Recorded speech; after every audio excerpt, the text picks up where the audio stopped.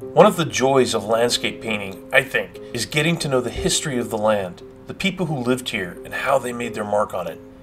The Deschutes River, for example, because it is the only water source that winds its way through this part of the high desert, has been important to everyone who's lived here. Native Americans, the Hunipui, who were part of the northern Paiute peoples, migrated along the river for thousands of years, fishing, hunting, and gathering local roots, seeds, and nuts.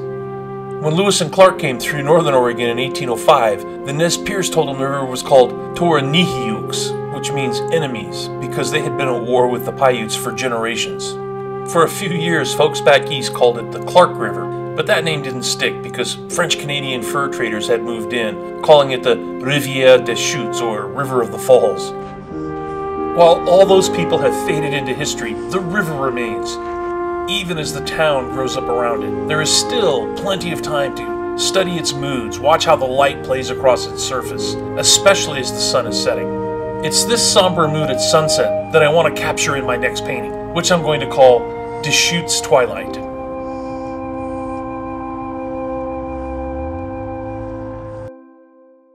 I've talked in previous episodes about how I work from photographs that I've taken myself, about how I compose the images in the camera as I go.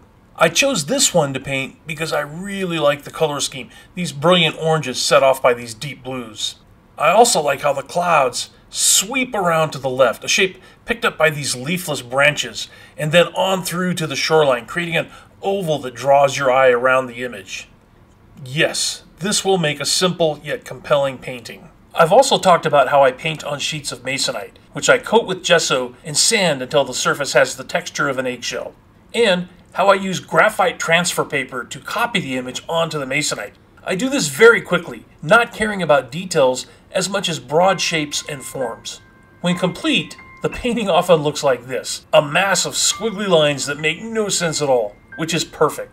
And how I like to do an underpainting, which, like the drawing, doesn't focus on detail but on broad shapes and forms, this time defining all the areas of light and shadow. The underpainting is also done very quickly. In this case, it took about 90 minutes to complete, start to finish. Once the surface is completely dry, which takes just a couple of days, I'm ready to start on the final painting. This one is going to be fun. Also, as you've probably seen in previous episodes, you know I work with a very simple palette. Using CAD yellow, phthalo blue, and CAD red light, I can mix almost any color in the universe. Burnt sienna and Portland gray will give me my lighter cloud colors, and my base paints, Payne's gray, burnt umber, and titanium white, I use for almost everything. And as always, my usual stable of double lot and really gnarly number two brushes. And my custom mixing medium and odorless turpentine, used for thinning paint and cleaning brushes. I start with the striking blue areas of the sky because it will be the dominant color that everything else will relate to. This is almost pure blue right out of the tube, with a tiny bit of orange to gray just a little, and of course a little titanium white. I block it around the edges of the clouds without worrying too much about blending. I'll come in with a different color and do that later. As I work my way down, I add white to lighten it, and by the time I reach the horizon, it is a very light blue. Then I use that same color and begin to blend around the clouds. Next, I mix white and a touch of burnt sienna and fill in all the warm areas.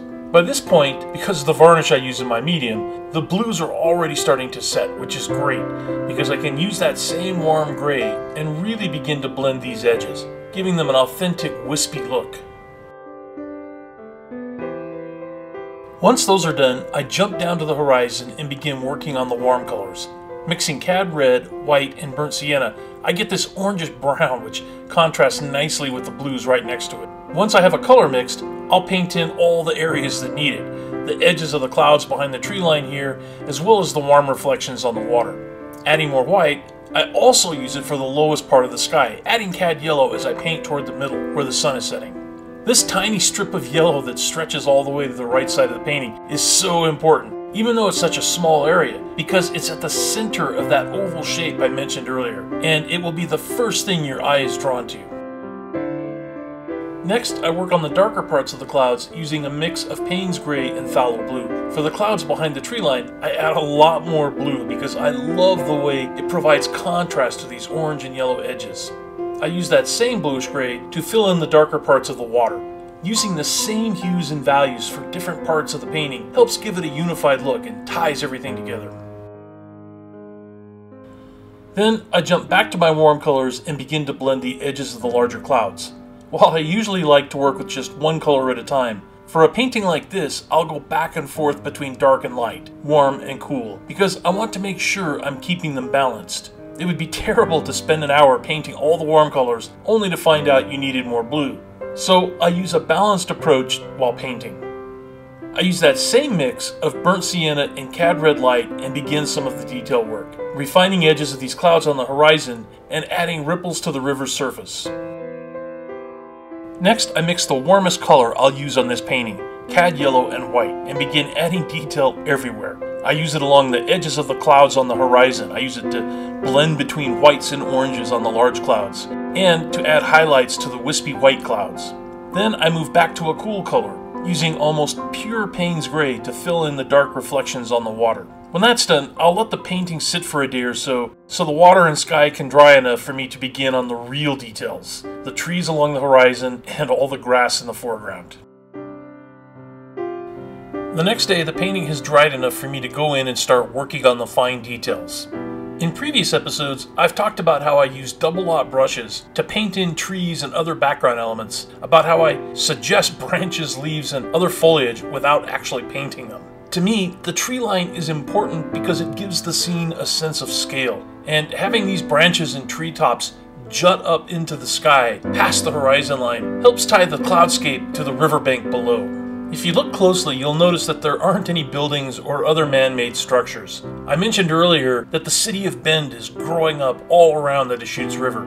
You can still find spots where you can't see houses or other signs of development, but it's getting harder and harder.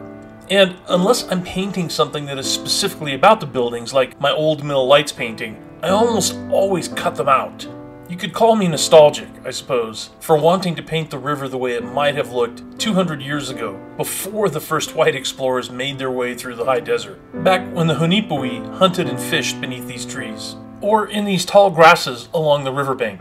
I can hear the splashing of fish and beaver, the distant bellowing of elk, the whisper of wind blowing through the grass and leaves. In previous episodes, I've talked about how I paint grass, again using a double lot brush to paint detail where I have to, and then suggest the rest. Like the distant trees, the grass helps establish scale as we can see individual blades and plant stalks jutting upward from the bank, silhouetted against the river's surface. These have to be painted with painstaking care because our eye is going to be drawn to them. The rest can be painted quickly and roughly, using a variety of subtle colors and brush strokes. You can see how I use the underpainting to suggest areas of light and shadow, and I use those now to create different vertical planes as I work from the foreground to the edge of the river. Another reason I wanted to give the sky time to dry is so I could have a safety net while painting this tree. There's really no other way to paint branches like this. You just decide exactly where it's going to go, try to keep a steady hand, and pull the brush down, pressing harder as you go so that the branch gets thicker toward the bottom. If you mess up, the only thing you can really do is wipe it off and try again. But with enough practice, you can learn to follow your photo source with few problems. I mentioned earlier that this small leafless tree is so important because it frames the left side of the painting, contributing to that oval shape that sweeps down from the clouds, helping to guide the viewer's eye to the riverbank and back around to the right. But again, like the trees in the distance, it also helps to provide a sense of scale. While the large tree in the background is a blurry mass of shapes, this tree in the foreground is crisply and tightly painted, to the point where you can even see small twigs indicating where leaves will grow in the coming spring. At this point, the painting is almost done and I can go in and add the final details. Here, I've mixed a bit of cad yellow and cad red light to create this brilliant gold color, which I use very sparingly to add highlights everywhere to ripples, reflections, and the edges of clouds. The advantage of using a subdued palette for most of your painting is that when you do add a splash of color here and there, it really pops. And this gold looks amazing against the surrounding blues. Then, grabbing a new double lot brush, I load up with titanium white and start adding details to the clouds. I use a lot of medium here, so the paint goes on thick, creating a subtle impasto effect. giving these wispy edges of clouds a lot of texture. The medium will help these areas dry much faster, as pure white paint can take weeks and weeks to dry. The last thing I add, as usual, is my signature. By this point, the grass has set up and is almost dry, so the paint goes on easily with a few simple strokes. Keep in mind that most modern frames overlap the painting surface by about a quarter inch on each side. I try to keep my signature, which is my brand, away from the edges by at least that much. And with that, the painting is done. I really like the way this one turned out. The palette is dramatic, with these splashes of yellow and gold set against the brilliant blues and all these dark greens.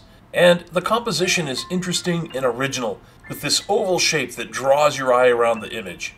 As I predicted when I started, it was a lot of fun to paint, and I hope you had as much fun watching. If you enjoyed this episode, please leave a note and consider subscribing to my channel. Thanks for watching.